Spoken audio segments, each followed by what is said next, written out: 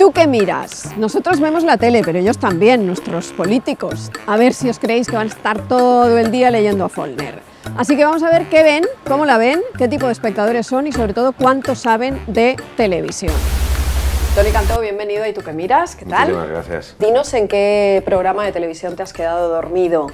¿Dentro del programa o viéndolo? Si te has quedado dormido dentro de algún programa, por favor, cuéntanoslo. Yo me he quedado dormido haciendo una secuencia. El primer plano que grabábamos ese día era en la cama. De repente cuando ya están preparados, acción, venga. Tony. Tony. Tony se había quedado absolutamente frito dentro de la cama. ¿Cuál es tu primer recuerdo televisivo? Los payasos de la tele. ¿Cómo están ustedes? Y los humoristas del 1, 2, 3. Y quizá algunos dibujos americanos, por ejemplo, el Correcaminos y el Coyote. ¿Y si tuvieras que elegir uno de los dos? Es que el Coyote es muy bueno. El fracaso continuo a mí me parece muy enternecedor. ¿Y hay algo que no te perdieras de niño en la televisión a lo que estuvieras enganchado? Sí, yo cosas. soy un Rodríguez de la Fuente frustrado. Y a todos como ¡guau!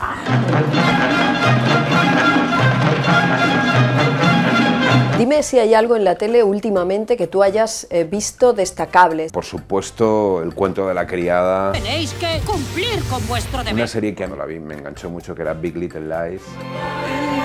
Pero luego hay una serie americana y que cuenta la historia de una infidelidad entre dos actores. De Affair. De Affair, me, me, me flipó. I think we're making a terrible mistake. Era muy bonito ver cómo él contaba un encuentro que había tenido con ella y no tenía nada que ver el lugar, ni la ropa, ni el estado con cuando lo contaba ella, ¿no? ¿Has vivido sin televisión alguna vez? Sí, he vivido casi cinco años sin televisión. Un rayo se cargó la antena, es cierto. Y cuando llevaba de repente un mes y pico diciendo tengo que arreglar la tele, tengo que arreglar la tele, de repente me acostumbré a no tener la tele. Pero lo que también debo reconocer es que en esa época yo, yo viajaba mucho. Entonces yo me pegaba unos enganchones en los hoteles del Copón. Cuando vas a las teles, a entrevistas, ¿cuánta gente llevas a una entrevista? Como mucho voy con una persona. ¿Y la entrevista de televisión más incómoda que te han hecho? ¿La recuerdas? Bueno, yo creo que es una que yo he hecho, que era Johnny Rotten de los eh, Sid Vicious, era, ¿no? Que además, antes de la entrevista está simpático contigo y correcto, y que cuando empieza la entrevista lo que hace es eh, jugar al rol de su personaje y reventarte la entrevista o meterse contigo. Ahora me hubiera toreado a Johnny Rotten, pero claro, tenía 19 tacos y estaba muy asustado.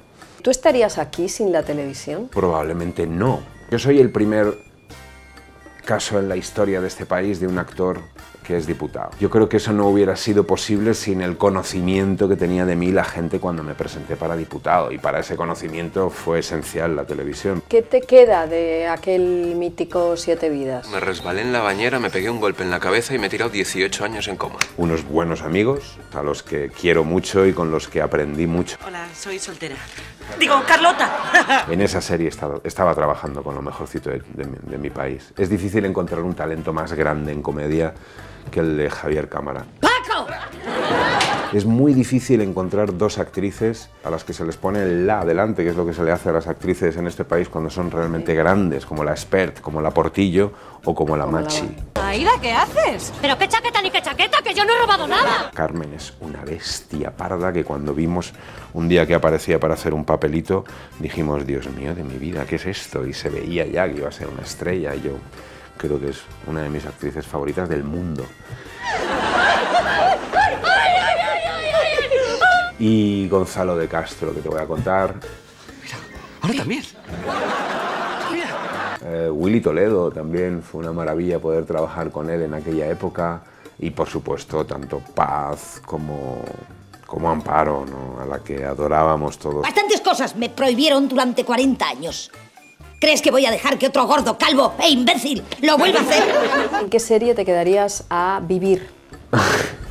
Depende, hay días que me apetece vivir en Breaking Bad, ¿En el papel de quién? en el del malo, por, por supuesto. Luego hay dos series maravillosas de política. Para mí la mejor es Borgen. Hvad nu, hvis jeg fortalte dig, at jeg er kommet i besiddelse af nogle oplysninger, der vil kunne skaffe dig en stor ministerpost i den kommende regering? de la que yo creo que bebe mucho la americana, ¿no? la de Kevin Spacey. There is but one rule hunt or be hunted. que ahora desapareció en mi medio penita porque creo que es un grandísimo actor que hacía un personaje sin el que ya no se entiende de la misma forma esa serie. ¿no? ¿Qué otra serie? Pues, pues hombre, me hubiera encantado vivir en el piso de Seinfeld. O me hubiera encantado poder ir todas las tardes al bar de Cheers. Vamos con el test. Es un test sin pretensiones, ¿eh? Dime quién es Palomo Spain. Un diseñador de, de ropa muy atrevido y que yo creo que ha revolucionado un poco el panorama. Pero no llevas eh, No ropa llevo de nada de él. no. Bueno, eh, el día que quiera generar una noticia, te aseguro que si aparezco en la sesión de control con un modelazo de Palomo Spain, Por favor, quiero ver ese momento. Eh, cuéntanos de quién es la frase eh, ella es actriz, que se ha hecho cursos. no tengo ni idea. ¿No has visto Paquita Salas? Ay, sí, me encanta. Yo ya le rendí pleitesía, me lo encontré hace ya meses en un estreno y le dije, eh, soy fan. Pues la Eh, frase es suya, Porque además, ¿sabes lo que pasa? Que, que yo soy actor, antes que político y antes que nada. Entonces el fenómeno de los representantes es un fenómeno que me conozco bien. Sí, sí, sí. ¿Cómo se llamaba la lagarta de la serie V? No me acuerdo. Se llamaba Diana. ¿Sabrías decirme cuál es la serie española que se ha llevado el Emmy Internacional? Bueno, la última, ¿no? La de la casa de papel. Muy bien. Me tienes que decir si es verdadero o falso las tres cosas que te voy a decir. La casa de Bertín Osborne es un decorado, no es su casa. Yo creo que la de Sevilla es real. Sí. Bigote Rocet, Arevalo y Malena Gracia estuvieron a punto de hacer una serie en televisión española, una comedia, que eh, reivindicaba el humor español. ¿Es verdadero o es falso?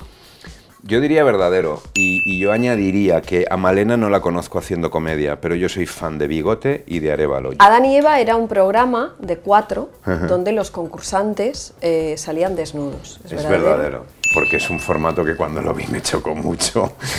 Pues vamos a acabar con la pregunta invitada que te la hace la periodista Ana Pastor y Mm. Sí. quiere saber si Albert Rivera es más de House of Cards o de La que se avecina. Yo creo que Albert es más de House of Cards, pero sería más de Borgen.